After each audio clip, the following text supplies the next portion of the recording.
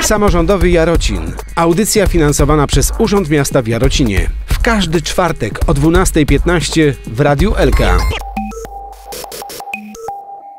Dzień dobry Państwu, witam bardzo serdecznie. Witam również panią Martynę Jańczak, zastępcę kierownika projektu Jarocin Miastem Jutra. Dzień dobry, witam serdecznie. Projekt, który realizowany był w ciągu ostatnich trzech lat przy wsparciu e, funduszy norweskich niebagatelną kwotą e, wsparto ten projekt, bo 20 e, milionów złotych. No i można powiedzieć, że ten projekt to działania i inwestycje nie tylko w infrastrukturę, ale także w ludzi. O jakich efektach chciałaby Pani powiedzieć, ponieważ ten projekt to mnogość działań, kilkadziesiąt działań. Nie jesteśmy w stanie o nich wszystkich powiedzieć, ale te, na które szczególnie chciałaby Pani zwrócić uwagę jako dobrą inwestycję w przyszłość Jarocina. Tak, zgadza się.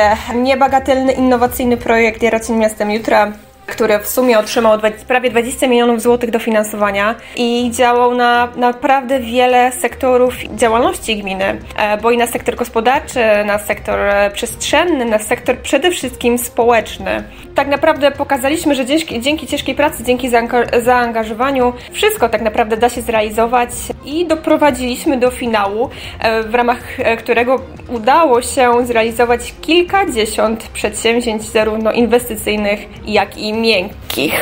Te, na które Pani szczególnie chciałaby zwrócić uwagę, ponieważ e, są istotne dla funkcjonowania miasta, dla społeczności. Przede wszystkim e, ratusz, w którym powstało Biuro Obsługi Miasta, w końcu przystosowane dla osób e, niepełnosprawnych, gdzie będzie można załatwić wszystkie sprawy, otrzymać wnioski, otrzymać pomoc. Przepiękne nowe miejsce, także serdecznie też zapraszam do odwiedzenia, do złożenia wniosku. Ile z tej kwoty, którą, dofinansowania, którą otrzymaliście, zainwestowaliście właśnie w ratusz? W ratusz zainwestowaliśmy niecałe 8, 8, między 8 a 9 milionów złotych e, razem z wyposażeniem. Także to też jest spora e, kwota w ramach e, projektu, która poszła właśnie na ratusz, który jest tak naprawdę takim centralnym trzecim wzięciem tego projektu. Ale nie tylko inwestycje w infrastrukturę. Nie, zgadza się. E, systemowo wsparliśmy przez te lata, dwa lata organizacje pozarządowe.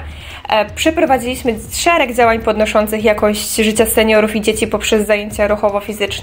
Zrealizowaliśmy wiele działań w zakresie poszanowania jarocińskich tradycji muzycznych i jarocińskiego festiwalu, czyli działaliśmy e, na bazie naszego, e, naszego wspaniałego zespołu folklorystycznego Snutki, który e, wprowadziliśmy w wydarzenia kulturalne razem z Muzeum Regionalnym w Jarocinie.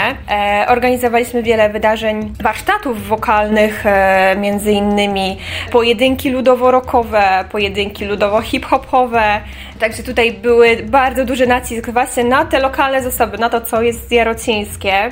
Bardzo fajnie też wyszło wydarzenie, e, zadanie o nazwie Street Working w Jarocinie, gdzie e, pracowaliśmy z młodzieżą, taką e, młodzieżą, która nie angażuje się w wydarzenia, e, które są tutaj organizowane. Udało nam się zorganizować m.in. glanomanie czy kino plenerowe cieszyły się ogromną popularnością, a dziewczyny, które tutaj e, opiekowały się tym wydarzeniem, stwierdziły, że one nie wiedziały, że tyle młodzieży jest w Jarocinie, które przychodziło na te właśnie aktywności. Też a propos rozwoju młodzieży, to także inwestycje w przyszłości kształcenia zawodowego. Zgadza się. W ramach partnerstwa z Cechem Rzemiosł Różnych stworzyliśmy od podstaw Jarocińskie Centrum Edukacji i Kariery, gdzie nie tylko wybudowaliśmy budynek e, na miejscu starej sali Cechu Rzemiosł Różnych, ale stworzyliśmy takie centrum, które ma działać na rzecz właśnie rynku pracy i gospodarki w Jarocinie, które ma systemowo wspierać i przedsiębiorców, jak i osoby, które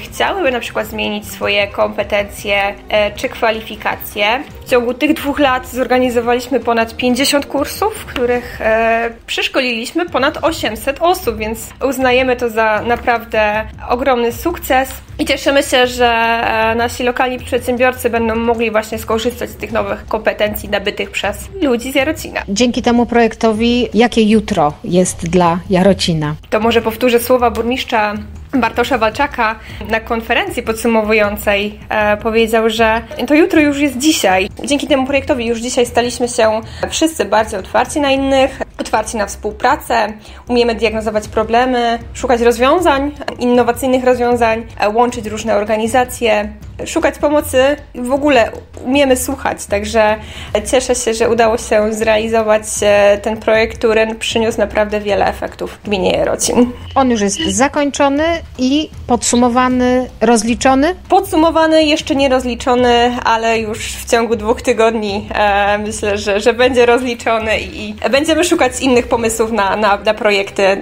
żeby wesprzeć naszych mieszkańców i naszą gminę.